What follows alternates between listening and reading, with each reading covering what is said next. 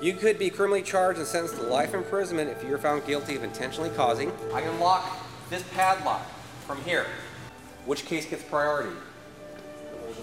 When it's coming up the soonest, right? Okay, you, you will reference something like this all the time in bail. Value hunters, you're going to capitalize on what he calls a disconnect. Bail agent will be appointed by Lexington, and then another bail agent will be with like Seneca, but they're not crossed.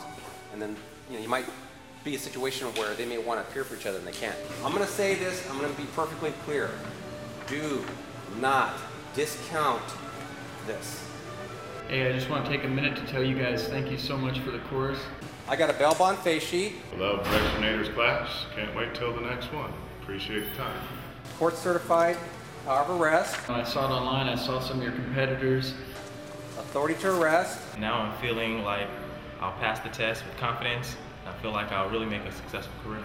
minute order, I was expecting, you know, pay the 400 bucks, uh, get a few uh, tips and things here about the code and passing the test. notice of forfeiture, Gave us some real life uh, tips that you can only get with years of experience in the industry, and uh, I, I really appreciate it. So thanks, Bailspeak.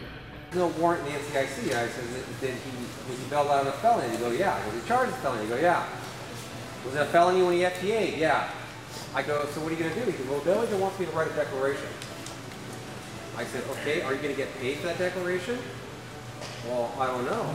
I go, let me tell you what's going to happen.